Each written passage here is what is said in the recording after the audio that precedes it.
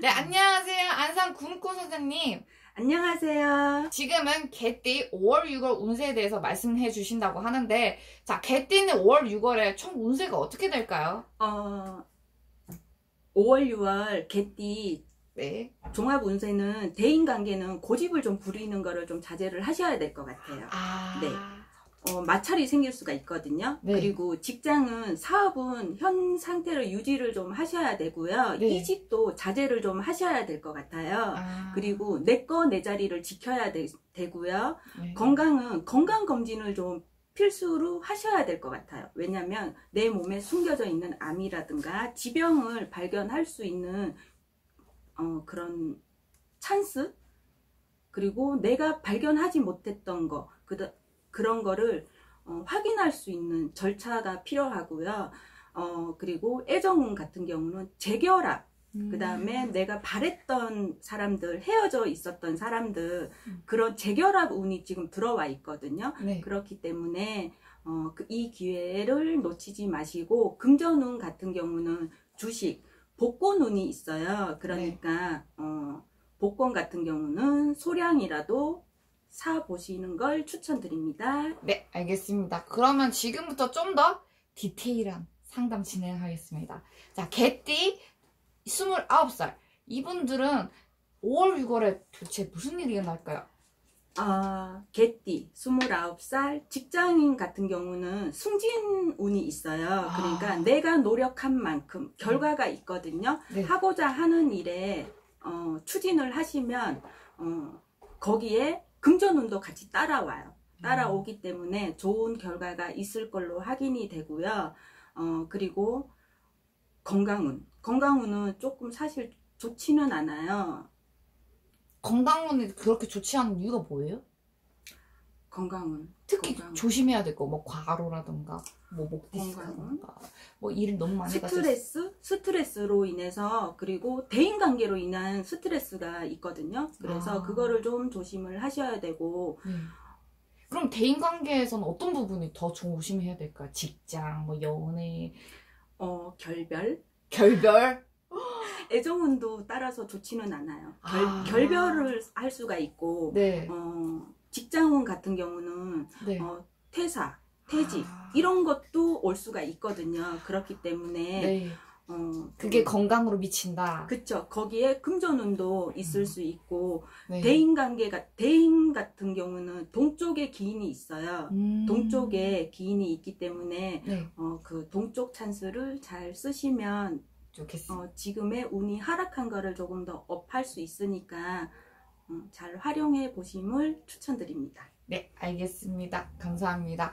그러면 이분들이 뭐 사업을 새로 하겠다 또는 직장에서 이전을 하겠다 이사를 하겠다 이런 변화 변동이 일어날 때 금전을 잘 잡으려고 하면 어떻게 해야 될까요? 어, 29살 개띠 금전운은 좋지 않기 때문에 이번은 어, 5월 6월 달은 추천하진 않거든요. 네. 어, 5월 6월은 한 템포 쉬어 가시고 하반기부터 네. 어, 운이 상승하기 때문에 네. 그때로 제가 추천을 드리거든요. 아, 네, 알겠습니다. 자, 그럼 지금부터 41세 개띠 5월 6월 운세에 대해서 말씀해 주시면 감사하겠습니다. 네, 41살 개띠 어, 남쪽에 기인이 있거든요. 남쪽에 아. 기인이 있- 기인으로 인해서 직장에 내가 개발한 걸로 인해서 네. 승진운이 있을 수 있어요. 아. 내 자리를 어, 승진운이 있기 때문에 내 자리를 지키시면 어, 거기에 대해서 금전운도 그렇고 성과가 있을 수 있어요. 네. 투기 투자는 하지 않는 걸로 추천드리고요. 네. 어, 사업은 하반기부터 제가 추천드려요. 아. 추천드리고 애정운은 소개팅 주변 사람들로 인- 주변 사람들의 도움으로 인해서 새로운 사람을 만날 수 있거든요. 네. 그러니 주변 사람 지인 찬스를 꼭 받으시길 제가 추천드리고요. 네. 건강은 차 사고 네. 장거리 여행은 가급적 5월 6월은 어, 자제를 해 하시는 거를 어, 추천드리니까 하반기부터 이동을 하시는 거를 제가 추천드립니다. 그 추울 때를 말씀하시는 거죠. 어, 여름 여름. 네, 여름에 어, 5월, 6월 어, 날씨 좋다고 이렇게 네. 들뜬 마음으로 움직이시는 것보다는 네. 어, 7월, 8월부터 여름 휴가를 계획하셔서 움직이시는 거를 저는 추천드립니다. 아. 자, 그러면 마지막으로 연애운, 건강운은 어떻게 될까요? 연애운, 소개팅, 네. 주변 사람들, 네. 어, 조금 아까 말씀드렸던 것처럼 소개팅, 지인 찬스를 쓰시면 좋은 소식을 있을 걸로 확인됩니다. 네. 행운의 키워드는 뭘까요, 그 중에서? 남쪽. 아. 지인. 아. 네, 알겠습니다. 그리고 금전 같은 경우는 투기 투자는 저- 어, 자제하시는 거를 추천드립니다. 그리고 건강운. 차 사고. 자사. 네, 장거리 운전은 가급적 자제해 주시길 바랍니다. 네, 알겠습니다. 자, 그러면 더 자세한 상담은 우리 선생님과 함께 전화점사, 방문점사로 진행하면 감사하겠습니다. 지금부터 개띠 53세 5월, 6월 운세에 대해서 말씀해 주시면 감사하겠습니다.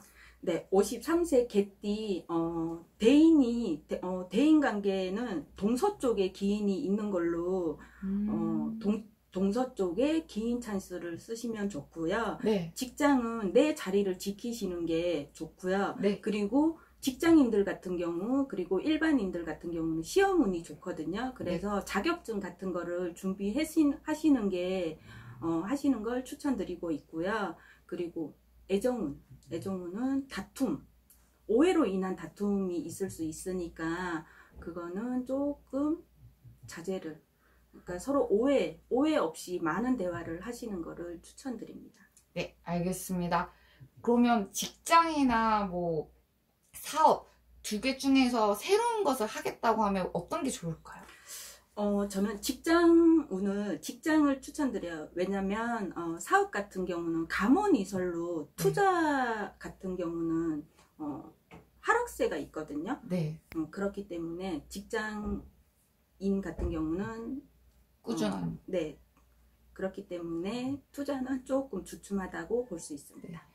그러면 기존에 해왔던 것들을 계속 하는데 그게 직장이다? 네, 그렇습니다. 아, 새로운 걸 해왔던 것도 직장에 나온 거겠네요. 그렇죠. 직장이 유리한 걸로 확인되고 있습니다. 네, 그러면 제가 만약 이사를 가고 싶다. 뭐 땅 관련된 것, 뭐 집을 사야 된다, 뭐 거래를 해야 된다. 이런 부분에서 조언을 감사하겠습니다.